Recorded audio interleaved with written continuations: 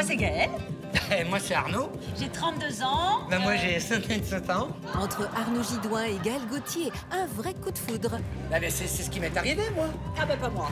Puis tout est allé très vite. Si on allait au Portugal, que je te présente toute ma famille. T'es grand, t'as pas de poils. Ça va les impressionner. Même très très vite. On a eu un enfant. Ouais. Et puis deux. Ouais. Eh, Ouais, et bon, on va s'arrêter là. Moi, j'ai pas dormi depuis 2018. Un vrai couple avec de vraies histoires, ça change tout. Je m'aperçois que Gaël est somnambule. Quoi? Je passe la nuit avec les Walking Dead.